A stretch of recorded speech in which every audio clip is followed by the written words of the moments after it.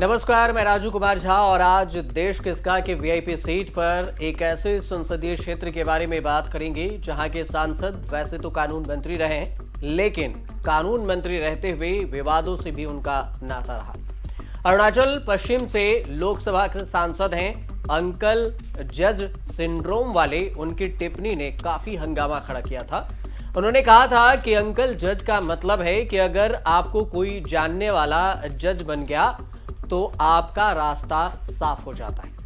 कहा था कि किसी भी प्रभावशाली जज को जानने वाले एक अच्छे वकील की सिफारिश नहीं की जाएगी। कानून पर बढ़ते विवाद के बीच रिजिजू ने कॉलेजियम प्रणाली को संविधान के लिए विदेशी बताया था। इसको लेकर भी काफ़ी विवाद हुआ था। 25 नवंबर 2022 को रिजिजू ने कहा था कि जब तक कॉलेजियम सिस्टम चल रहा है, उन्हें सिस्टम का सम्मान करना होगा। रिजिजू ने आगे इसी इसी सेंटेंस में कहा था कि कॉलेजियम प्रणाली में खामियाँ हैं और लोग आवाज़ उठा रहे हैं कि प्रणाली पारदर्शी होना चाहिए ट्रांसपेरेंट होना चाहिए। जज और कानून पर विवाद इतना हुआ कि किरण रिजिजू से कानून मंत्रालय तक वापस ले लिया गया। अब इस मंत्रालय की ज़िम्मेदारी फ़िलहाल अर्जुन राम मेघवाल को सौंपी गई है। लेकिन इस सब के बीच में जो जज और कॉलेजियम सिस्टम को लेकर, कानून को लेकर जो विवाद था, उसके खामियाजा भी किरण रिजिजू को भुगतना पड़ा। लेकिन कांग्रेस की भ्रष्टाचार की दुकानें बंद कहने वाले किरण रिजिजू का 2024 लोकसभा चुनाव में क्या होगा?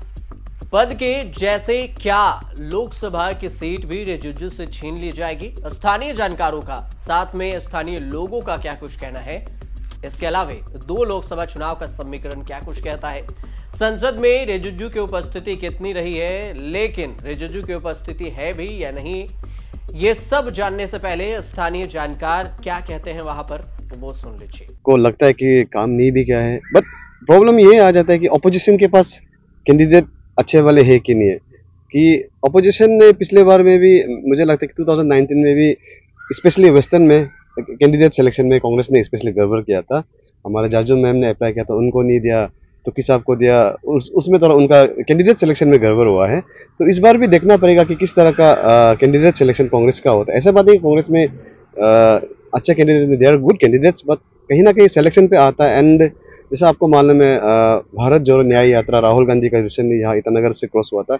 We have seen it and जितना हमने देखा कि वो भले ही ईटानगर कैपिटल रीजन में आया था, लेकिन काफ़ी उत्साह लगा देख के पुराने पुराने कांग्रेस वर्कर्स बाहर आए। इसका असर इलेक्शन में कितना होगा, वो बोलना मुश्किल है बट डेफिनेटली इस बात को हम डिनाई नहीं कर सकते कि इसने काफ़ी हद तक तो थोड़ा सा ग्राउंड में तो कांग्रेस का वर्कर्स को इंतज़ाम लाया है। अभी उसको ट्रांसलेट बोथ में कर पाता है कि नहीं पाता वो वो एक अलग सवाल है। इसलिए मुझे लगा कहीं ना कहीं जो रिसेंटली कल ही हमारे स्टेट कैबिनेट डिसीज़न लिया था, बिचुम डिस्ट्रिक्ट बनने का I thought that that was specially Kiran sir के लिए बनाया गया है वो डिस्ट्रिक्ट जब बिकॉज़ वो वो रीजन से बिलोंग करता है एंड वहाँ पर मुझे ग्राउंड का थोड़ा खबर है कि लोग काफ़ी नाराज़ था। जिस कम्युनिटी से वो बिलोंग करते हैं, किरण सार और जो बगल में जो कम्युनिटी है, उनका, उनको लगा था कि बिचम डिस्ट्रिक्ट बहुत लॉन्ग ड्यू है एंड उनको, उनका अंदर में आक्रोश था, नाराज़गी था कि किरण सर पावर में होते हुए कि उनको डिस्ट्रिक्ट नहीं मिला। तो आई थिंक कहीं ना कहीं ये बिचम डिस्ट्रिक्ट इज़ अ वे कि उनको सबको थोड़ा खुश कराने के लिए and I think this district has been specifically created for mister Kiran Rijiju पहले जैसे हम लोगों ने देखा था कि बीजेपी के लिए there was a lot of support ऐसे ग्राउंड पे आप जाए।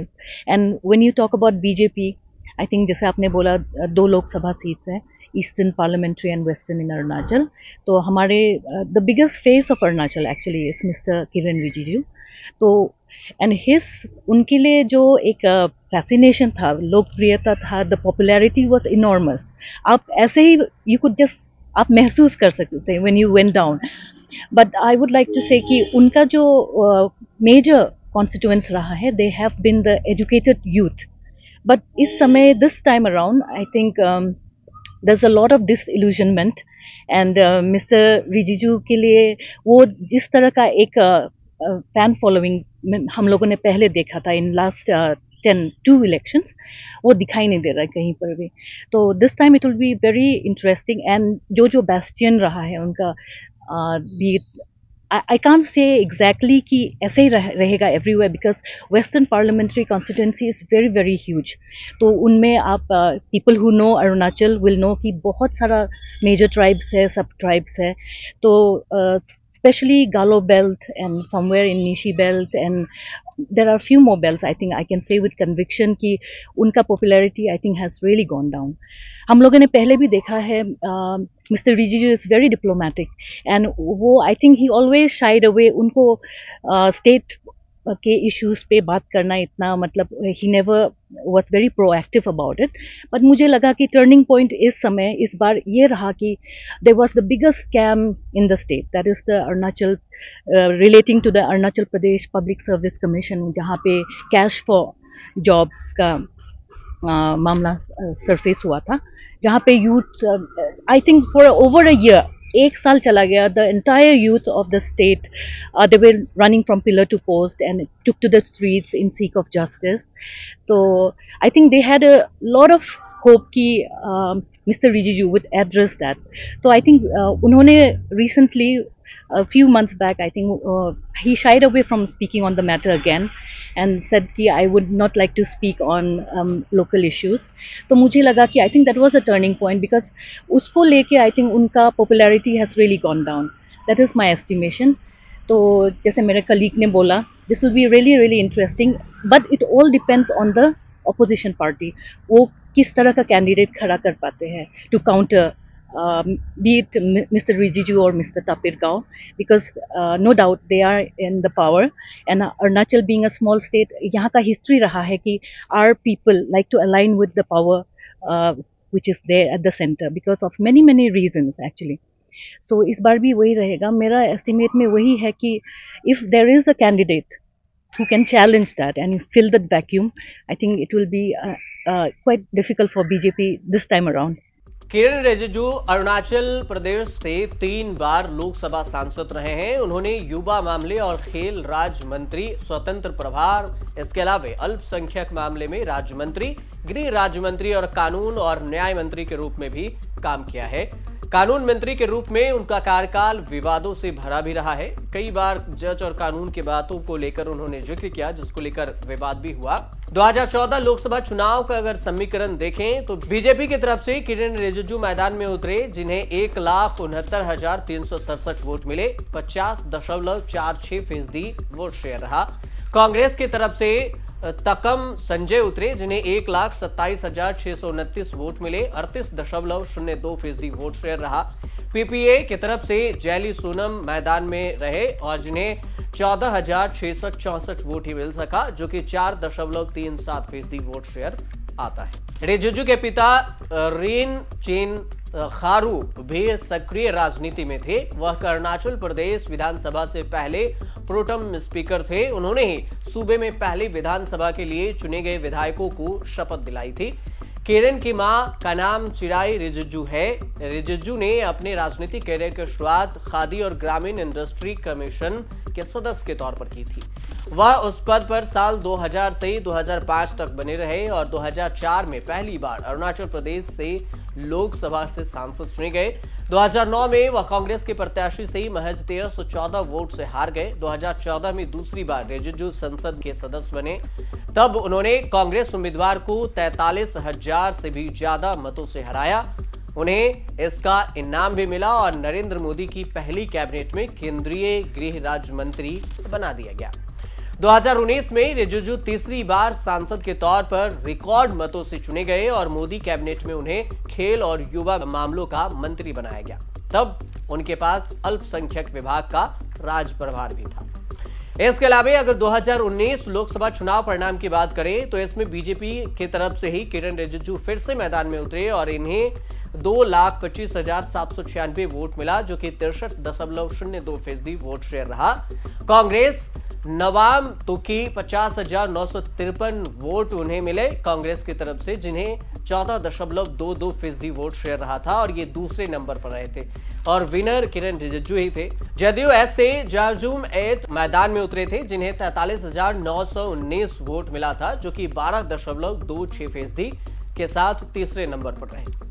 अरुणाचल प्रदेश राज्य पूर्वोत्तर का एक प्रमुख राज्य है। अरुणाचल प्रदेश, जिसका मतलब होता है उगते हुए सूरज की भूमि। अरुणाचल प्रदेश की राजधानी ईटानगर है और क्षेत्रफल के हिसाब से पूर्वोत्तर भारत के सेवन सिस्टर स्टेट में अरुणाचल प्रदेश सबसे बड़ा राज्य है। साल उन्नीस सौ बासठ से पहले इस राज्य को नॉर्थ ईस्ट फ्रंटियर एजेंसी के नाम से जाना जाता था। इसकी सीमा पश्चिम में भूटान राज्य, उत्तर में चीन के तिब्बत स्वायत्त क्षेत्र और इसके अलावा म्यांमार, जो कि वर्मा है, और दक्षिण पूर्व में नागालैंड और दक्षिण पश्चिम में भारतीय राज्य असम से लगी हुई है। इस राज्य को 20 फरवरी उन्नीस सौ सतासी को भारतीय संघ के 24वें राज्य के रूप में स्थापित कर दिया गया था। अरुणाचल प्रदेश के असंख्य बोलियों और उप बोलियों के अलावा कम से कम 30 और करीब करीब 30 भाषा हैं। इसके अलावा 50 अलग अलग भाषाएँ यहाँ पर बोली जाती है। कुल मिलाकर देखें तो 50 से ज़्यादा ही हो जाता है। अरुणाचल पश्चिमी के जातीय समीकरण को अगर समझें तो इसे समझने से पहले आप वहाँ की जनता की राय सुन लीजिए कि अरुणाचल प्रदेश में किरण रिजिजू को लेकर वहाँ के लोग क्या कुछ सोचते हैं। हम लोग ऐसा है, अभी तक किरण रिजिजू के ऊपर में बोला जाने से हमारा अरुणाचल में काफ़ी फियास्को चला है एपीसीएस का। और बहुत सारा मुद्दा यहाँ हुआ है। लेकिन किरण रिजिजू हमारे जो एमपी है, वो बहुत इग्नोर करते हुए देखा है। मैं तो ये चाहता हूँ कि इस बार हमारे एमपी जो मेन लेन में जो है, उनको चेंज करना चाहिए हमारे अरुणाचल से। ये हम सभी जो जितना भी दोस्तों हैं और जो वोटिंग राइट है सभी को अपील करता है कि इस बार किरण रिजिजू को हाथ आना चाहिए। और अगर नहीं भी आता है उनका सुधरते हुए कुछ बातें होना चाहिए कुछ इम्प्रूवमेंट और होना चाहिए। होना चाहिए। क्या लगता है आपको? तो लगता है किरण रिजिजू का ही काम से ही अच्छा है। क्योंकि वही देखिए है वही काबिल है। देखने में हाँ कोई काबिल ही लग रहा है पब्लिक के लिए। तो पता नहीं अभी तो नहीं बोल सकते तो पब्लिक के ऊपर में पब्लिक जिसको सपोर्ट करेगा वही होगा। बहुत मार्जिन से जीतते हाँ। अभी भी लोग प्यार करते हैं हाँ ऐसे कृषि को तो अरुणाचल वाले जो पब्लिक है बहुत प्यार करता है बहुत पसंद करता है। और फ़िलहाल अभी आप आप इलेक्शन अपकमिंग इलेक्शन में नहीं बोल सकता कि कौन कितना भारी भरकम बहुत से जीतेगा नहीं बोल सकता। लेकिन बात अरुणाचली जितना तक देखा जाता है मतलब मेनी डिस्ट्रिक्ट तो उसमें बहुत कृषि को बहुत प्यार करने में तो बहुत सारा करता है। पता नहीं ये बार क्या होगा कुछ कुछ सुन रहा है पार्टी बहुत सारा उतरा है जैसे कि अपना तो शीतल मैडम हो गया फिर बहुत सारा है जो आने वाला है। हाँ कांग्रेस से भी आ रहा है आपका। आइडिया नहीं ये बार देखता है क्या होता है। तो आफ्टर टेन ईयर्स पहले और उसका फाइव ईयर्स पहले बैक आप जाके देखिए अरुणाचल कैसा था और अभी खाइए ना आप देखिए आपका रेलवे स्टेशन आ गया हाईवे बहुत सारा काम किया है। काम तो नहीं बोलेगा बहुत काम किया है। वही अरुणाचल तो डेवलपमेंट तो बहुत आया है आने पे। हाँ किरण जी जी को तो हम लोग सभी प्यार करता है। गया साल में भी तो हम लोग को मारा ही है इसलिए जीता है ना। अभी भी मारेगा किरण जीजू को।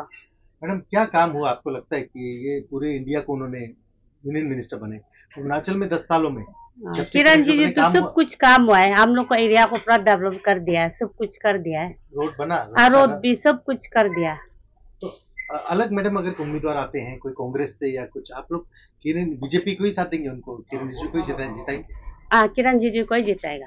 हाँ आधा लोग में प्यार है बाकी लोग में नफरत है। क्या बोल सकेगा?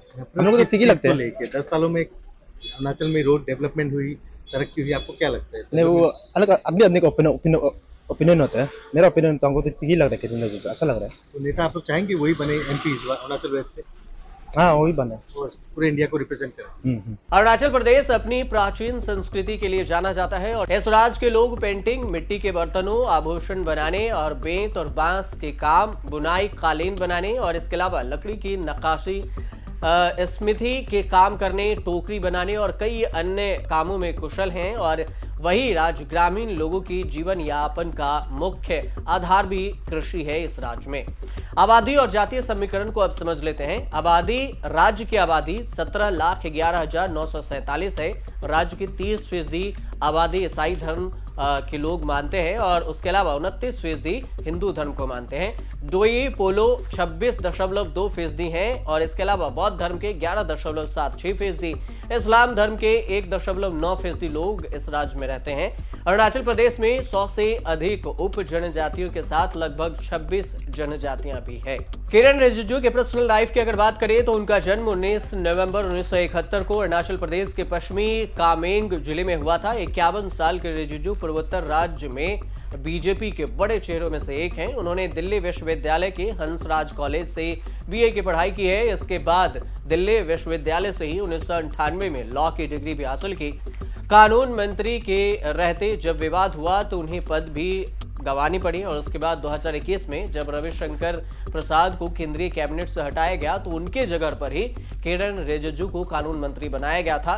रिजिजू देश के चौंतीसवें कानून मंत्री बने। राज्य के मुख्य सियासी दलों की अगर बात करें तो यहाँ पर भारतीय जनता पार्टी, जो बीजेपी, भारतीय राष्ट्रीय कांग्रेस, इसके अलावा जनता दल यूनाइटेड, जो जेडीयू, अरुणाचल डेमोक्रेटिक पार्टी और पीपल्स पार्टी ऑफ़ अरुणाचल है। अरुणाचल प्रदेश में तेईस ज़िले हैं साठ विधानसभा सीटें हैं, दो लोकसभा सीटें हैं। वर्तमान में राज्य में बीजेपी की सरकार है।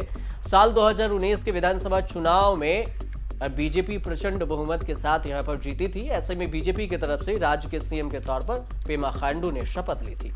बीजेपी ने 60 विधानसभा सीटों में 41 सीटों पर जीत दर्ज की थी। वहीं कांग्रेस को सिर्फ़ चार सीटों से ही संतोष करना पड़ा था। इसके साथ ही पहाड़ी क्षेत्र वाले इस राज्य में नीतीश कुमार की पार्टी जेडीयू को सात सीटें मिली थी। आपको यह भी बता दें कि साल 2016 में अरुणाचल प्रदेश की राजनीति में बड़ा उलटफेर भी देखने को मिला था। उस दौरान पेमा खांडू कांग्रेस और पीपीए छोड़कर बीजेपी में शामिल हो गए थे। इसके कुछ समय बाद ही एक साथ कांग्रेस के 43 विधायकों ने पार्टी छोड़ दी थी और पेमा खांडू के साथ पीपीए पार्टी में शामिल हो गए थे।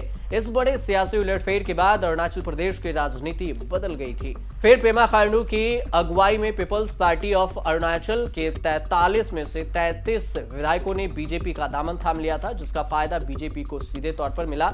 और इस तरह से मिला कि पार्टी ने में से 60 में से 41 विधानसभा सीटों पर जीत भी दर्ज की थी। अब 2024 लोकसभा चुनाव की बारी है। ऐसे में जनता तय करेगी कि 2024 लोकसभा चुनाव में किसे चुनकर संसद तक भेजती है।